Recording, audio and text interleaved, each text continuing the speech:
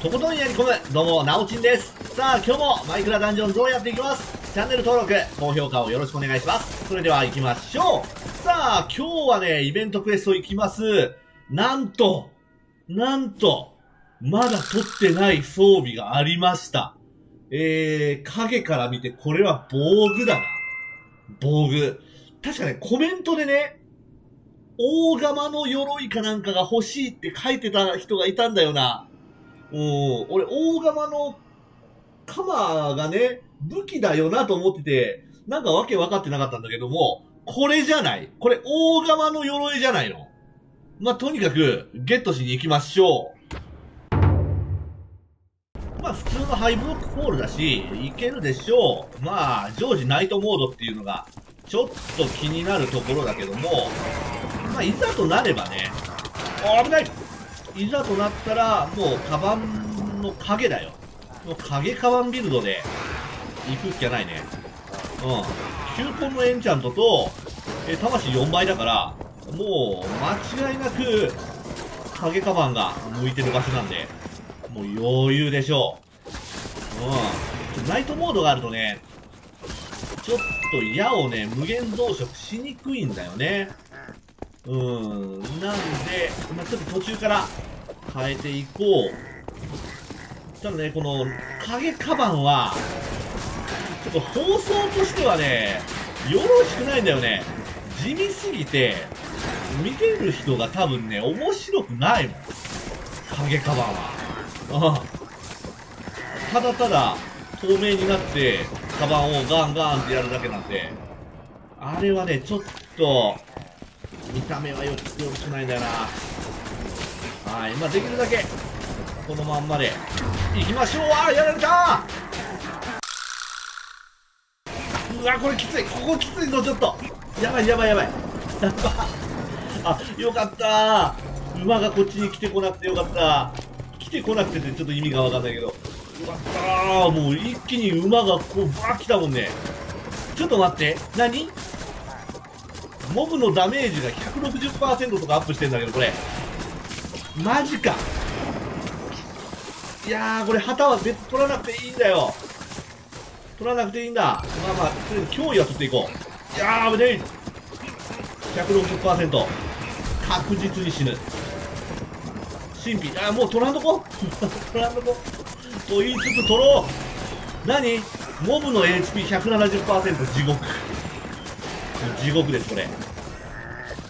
もういいや、行こう。やったるぞ。やべやべやべこれいけるかな？ちょっといけるか不安になってきた。モブのね、HP じゃなくて攻撃力は、まだ、まだなんとかなんのよ。でも敵のね、HP が増えちゃうとちょっとまずいんだよな。これはちょっと厳しいかもな。いやもうね途中でこれ無理だったわ。無理だった。もう影カバンで行くしかないです。ということで影カバンで倒します。よし。まあまあまあいけましたね。途中でね帯電とか来たからちょっとどうしようかなと思ったけどまあまあ、いけました。ちゃんとアイテム欄をしっかり開けて、幸運を装備してからクリアですね。では、見てみましょうか。最初がイベント装備だね。大釜の鎧大釜のアーマーか。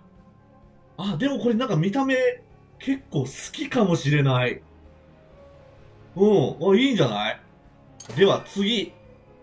強いの来て強いのハープクロスおお !257。あ若干威力は低いけども、どうだ？ハープ、はい。あー、ダメだね。ダメだね。見て一発で分かった。ハープは、やっぱりマルチがないとね。マルチないとちょっと厳しいんだ。うーん、まあまあ、お供え物ですね。ちょっと大釜のアーマー、ちょっとこれ気になるな。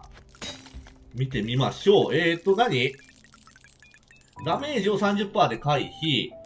えー、っと、35%のダメージ減少。近接ダメージ30%アップの、うーん、クールダウン100%増加。これはあれか？えー、っと、ヘビーアーマー系だな。